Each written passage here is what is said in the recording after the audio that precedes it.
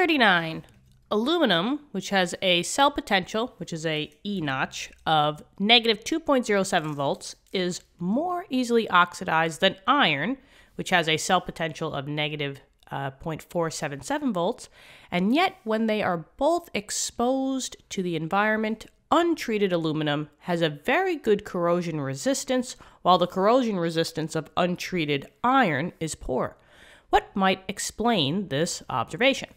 Okie dokie. So it seems like we have two different metals reacting with the environment. So we have aluminum, which I will just write out as aluminum, Al, and we have iron, which is Fe. Now, they did give us the cell potentials, and I notice that they are both negative values. Now, since we're talking about corrosion, corrosion always occurs when you are oxidizing. So you're undergoing oxidation, and oxidation for a spontaneous cell will happen at the anode. And the rule here is that the more negative you are, so the more down you go on your E cell, the, the not the E cell, but the cell potential of your, your metal or your substance, the lower that value is, the better it is at being a anode. So it's the chances are of becoming oxidized or going under oxidation is greater, and that's why corrosion will happen. So because aluminum has a standard potential of negative 2.07 volts and the standard potential of iron is only negative 0.477 volts, that's why it says that aluminum is more easily oxidized because aluminum has a lower number. So between the two of them, aluminum has a lower number. It's more easy to oxidize. So that's that part. So lower the number, easier to oxidize.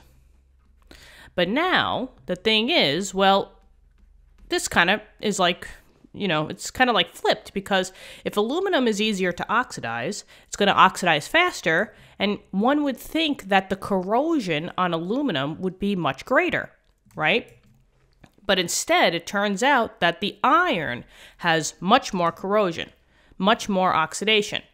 So the thing is, is that when you're losing electrons, right, when Al turns into Al3 plus, I'm taking it just from here, right? That means that I lost three electrons. This is the this is the corrosion equation. This is your oxidation equation. And I'll do the same for the iron. It's the same charge, right? The iron is going to lose the three electrons. So the three electrons have to be here, and they're both undergoing oxidation. They're both going to potentially corrode. But now here's the thing that they don't tell you. Now, it's easier to talk about it in terms of iron because what happens to iron over time? Well, iron rusts, right? It turns a different color. That's the rusting, right? Usually, iron when it rusts, it turns from a nice like like if you think of maybe like a cast iron, right? If anybody has cast iron skillet, Here's my here's my lovely picture of a cast iron skillet. Generally, it's all, you know, coated like a grayish black. But the number one rule for owning a cast iron skillet is that you cannot just leave this with water or have it exposed to the environment with water droplets on it because the iron on your cast iron skillet is going to start to rust. And with rusting, it's going to change color. It's going to turn like a copperish color, right? Rust is usually like an orange color. But the thing is, is that orange, that orange cover, right? The rusting making the iron a 3 plus, this is not protective. There is no protection when iron turns into rust and turns into that different color. And generally, what happens is that the iron, the, the rust, will flake. And when rust flakes off, you're exposing it to more iron, which will then rust some more. It will turn to more iron color. No protection.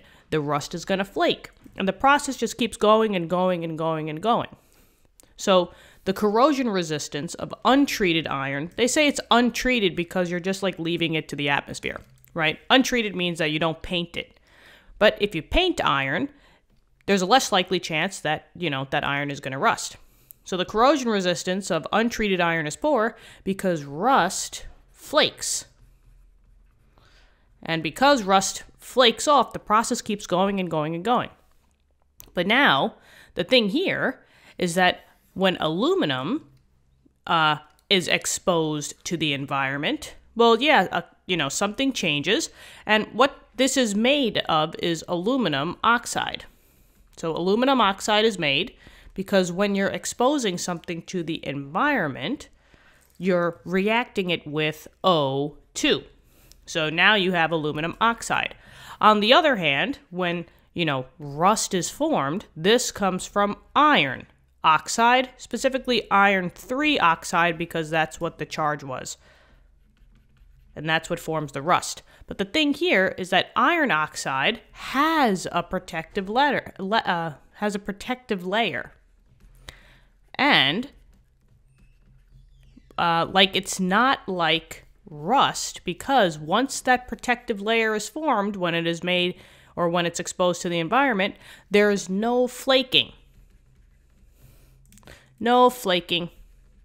And a good example of this idea where you actually form a protective layer and no flaking will occur, so like no, you know, continuous corrosion is going to occur, is the Statue of Liberty, right? In the beginning, Statue of Liberty right here. Here she is, right? She's holding whatever. In the be in you know back in the day when they when they brought the Statue of Liberty over, uh, she was not that patina uh, bluish greenish color. She was like a copper color. But when copper oxidizes, right, when it um, you know it gets exposed to the environment, it turns color. And her color that she turned was a bluish color. But that is now a protective sheet for her so that you don't see the Statue of Liberty flaking and like corrosion is happening and she's like wearing down. That protective color, that protective covering is going to keep her from corrosion. So that's interesting. But that basically answers the question. So aluminum has good corrosion resistance because Aluminum oxide has that protective layer, so no flaking, but the iron makes the rust, and that is not a protected layer because it just keeps flaking and corrosion is going to happen. And that's it. I hope this helped. Let me know in the comments. Thank you so much for viewing the video. Subscribe to the channel, and I hope you all are having a great day. Keep studying hard. I'll talk to you soon. Bye-bye.